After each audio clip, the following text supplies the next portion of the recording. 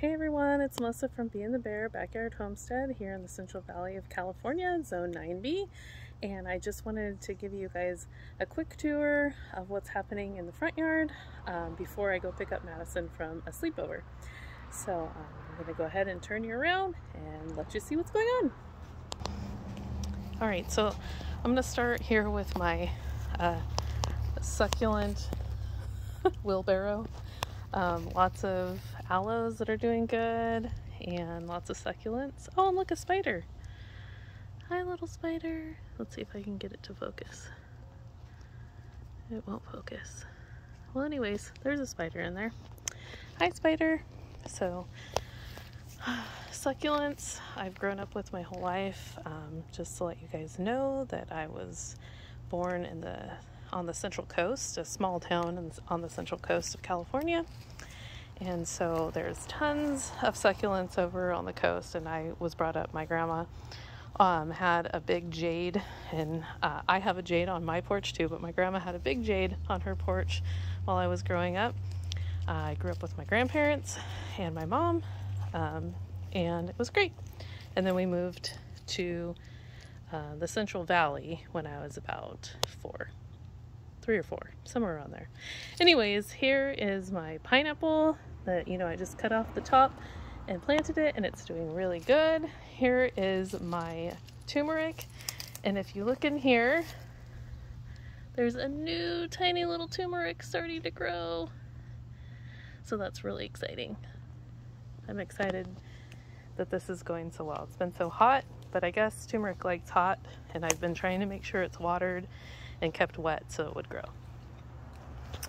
Over here we have the bay. This one died, but all the babies are growing still. Holy basil.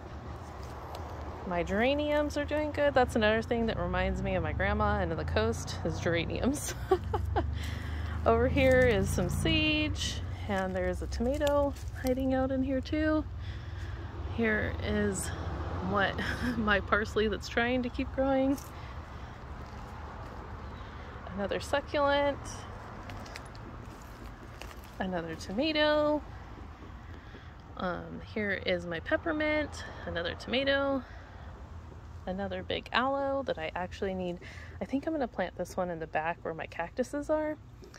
And this is my elephant plant, my ginger, which I'm super excited about. It's doing really good. New shoots are coming up right here and right here. So that's exciting. Hopefully in October and in November. We have a pretty long growing season here. Our first frost isn't until I think December 1st, so I think I should be fairly successful at this, hopefully, God willing. Uh, here's my thyme and some basil. Here are my garlic chives, and they're actually starting to flower, which is fun. It doesn't want to focus. I'm also trying to propagate some more aloes so that I can maybe start doing a Saturday, um, you know, like pop-up type thing where I sell them.